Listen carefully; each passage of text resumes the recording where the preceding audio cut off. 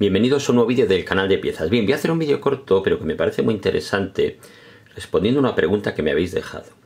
¿Puede ser que el motor esté consumiendo agua si anda mal el enfriador de aceite? Vamos a ver. Eh, perfectamente, ¿vale? A ver, mira, lo que veis aquí, esta foto es de, bueno, de un vídeo que hice hace tiempo. Eh, veis que tiene las juntas, están degradadas. En este caso, el líquido refrigerante lo tiraba hacia el exterior, ¿vale? Aunque lo más habitual es que por un problema interno del enfriador se esté mezclando el aceite con el líquido refrigerante.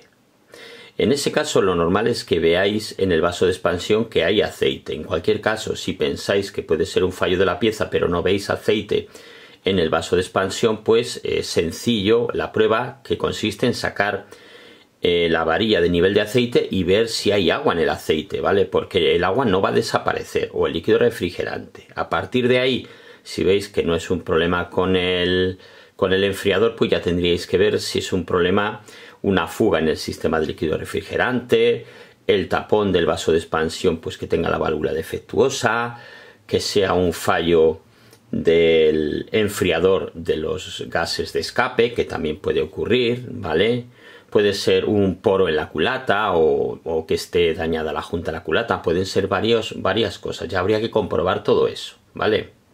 Bueno, aquí os dejo este vídeo cortito, si os ha sido de utilidad, pues no olvidéis dar un like y suscribiros al canal.